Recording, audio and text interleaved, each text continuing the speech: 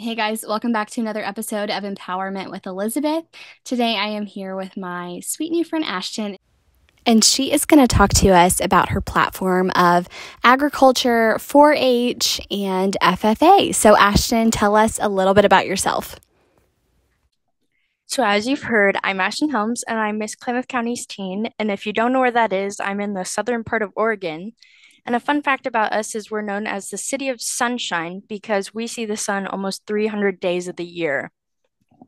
I love it. My Love it. community service initiative is 4 H and youth, and it's just talking about leadership and what 4 H has to offer. That's awesome. That's awesome. I love it. I love it. So talk about, you know, um, why you decided to choose agriculture as your CSI.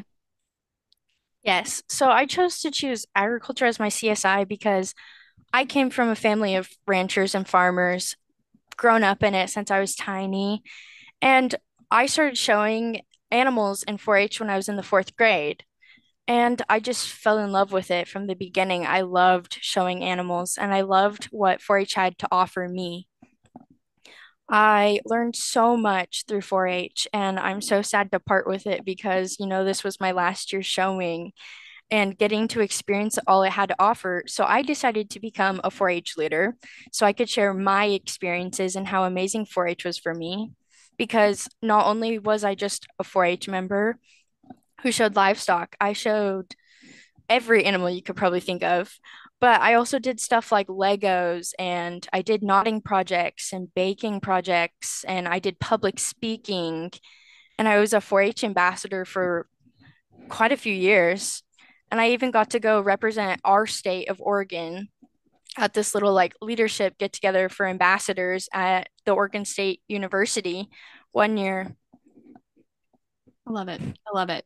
So, um, so talk about, you know, what the biggest issue that you see is with um, agriculture education because you know um, you don't see a lot of of you know kids going into college saying you know i want to be an agriculture major. I want to be um, a farmer when i grow up. So talk a little bit about you know what that looks like in your state and what you see as the biggest issue um, in agriculture. Perfect. So actually one of the biggest issues facing agriculture in Oregon is we're having bills that are going against farming and ranching mm-hmm. and our livestock producers. And it's actually, if this bill goes into place, it will affect having, you know, butcher plants and having humane, like having humane ways of getting meat in Oregon, and it'll put a pause on breeding livestock and the animals that produce the meat for us. Mm-hmm. But one of the things that faces it on like the ag side is not, or when you get into ag education, is here in Oregon, we are a big ag state. But when you look like on a further spectrum, FFA isn't very big at most schools. Mm-hmm. I know quite a few schools in our county their FFA program either died or you know they don't have anyone to lead them on. So it's just there. Mm-hmm. and there's not a whole lot of agricultural colleges when you look past high school and middle school. And I personally have experienced it because I'm going into animal nutrition. And so it is so hard to find a college that has a good animal nutrition program or one that you know, focuses on what you want to focus on. Yeah, for sure. I'm I have a degree in people nutrition, not animal nutrition, but um, but yeah, I have a degree in nutrition, and so um, that was kind of what introduced me to my platform of food insecurity, and then adjacently, kind of agriculture. Um, you know, I grew up in the city mm-hmm. in Dallas, Texas, so I wasn't around farms, and my high school did not have FFA or 4-H. Um, so it's interesting to hear, you know, you talk about how that's such a big part of, you know, your high school, but there are high schools that don't have it. So, mm-hmm. um, you know, that's something that I wish I would have been able to be a part of in high school because it it really is such a great leadership organization, and I feel like it's a lot like pageantry in a lot of ways because. Yes you do learn so many great skills that are applicable for the rest of your life. So that's awesome that you had a school that um, you know provided that for you guys and that you know allowed you guys to be involved in that. So i'm jealous. Um, but talk about, you know, what the connection is between, um, you know, agriculture, which is what your platform is, um, hmm and food security or, you know, hunger and poverty. So, one of the biggest issues I personally believe is between like where ag overlaps with food insecurity is the fact that when we go to buy food in the store, you know, we're not thinking of the farmer because we don't buy locally from grocery stores, but grocery stores advertise that it is sometimes. But also, you know, we import a lot of our important like foods and ag commodities like we import hays sometimes for our animals and you know if you can't get the hay that you're importing you can't feed the animal that's going to move on to feed you Mm, Yeah, and absolutely. one of the issues that affects my community and mine is because um, the Klamath and Lake County, we have water rights issues.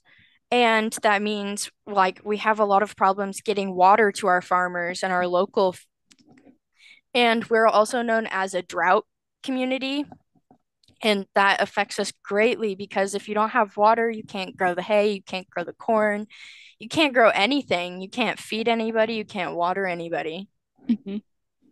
Yeah, it really is like a trickle down effect almost. I actually got hmm that question in my last interview to get my local title this year, which is so hmm funny that you brought that up. And they were like, you know, what is your what are your thoughts on like the chain of command and how hmm things overseas will impact that? And I was like, that's actually a really big issue and and not even necessarily, you know, um, with, you know, just specifically this year, but really anytime there's like a government hmm shutdown or a big event happening overseas, you know, um, because like you said, you know, our, our food comes from a farm inevitably. And so if we can't feed the animals that are providing us our food, um, you know, and equip them with what they need, then um, that does affect what's you know, shelved and put on the market for at grocery stores. So you're so right. You're so right. I mean, Um, that's why we went into the potato famine. hmm That's a great thing to, yeah, exactly. You're so right. Um, Yes. it's not just something that's new. It's it's been Going on gosh, for when was that? Was forever, that like the was that the 1700, 1800s? I wish I was, I wish I could tell you exactly when it was, but I know I'm like I'm a STEM girl. I don't know my history. That's so bad. Um, But talk about, you know, some of the bills. You you were talking about, you know, bills that are, you know, specifically um, negatively targeting farmers. So talk a little bit about those. You know, I know that there's been the big push recently for mental health um, advocacy for farmers because, um, hmm you know, I was talking to a girl in Arkansas who has a similar platform to us, and she was like, you know, something that people don't realize about farmers is that they don't get a day off. You know, there's there's always crops that have to be tended to. There's always animals that have to be tended to. So um, they a lot of times have really bad mental health. So talk a little bit about some of the bills that you were mentioning earlier. currently in Oregon, there was a Senate Bill five uh, 526, which it was from quite a bit of time ago, but it came into effect like crops Mhm. and stuff with the USDA, but it mainly happened because of COVID. And it was just like, should we not, you know, test the soil to see like what pH levels we have and what we can actually grow here? Because, you know, they were, we were in COVID, so it was killing like the social interactions we get between the people who test our soils to see if we can grow the specific crops we're trying to, and, you know, the people trying to grow your crops for you. Yeah. And I wish I could remember off the top of my head the one that is gonna come into a big play if it goes through because, you know, my grandfather runs a grass-fed butcher plant and so if it comes into play, he won't we won't be able to butcher animals here in Oregon at all. We'll have to send them out of state just to even get butchered. Yikes. Yeah, that's not ideal, obviously, for him. Oh goodness, no. It'll put most of our families out of out I didn't of that was a thing. Oh my gosh. Interesting. so it's need to do some actually called that. it's IP3 and it's um yeah, it's gonna go against trapping and hunting and killing animals for food. And it's gonna put a pause on like our agriculture education and the research we have on animals, of course. Mm, yikes. I didn't even know that was a Yes. thing. I'm glad you brought that up. I need to check if Mississippi has that. Might And some not advocacy work.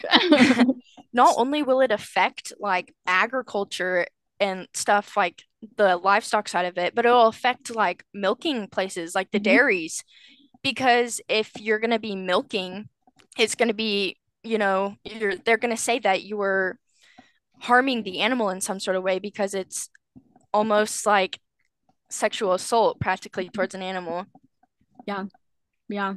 Wow, I didn't even know that was an issue. I'm glad you brought that up.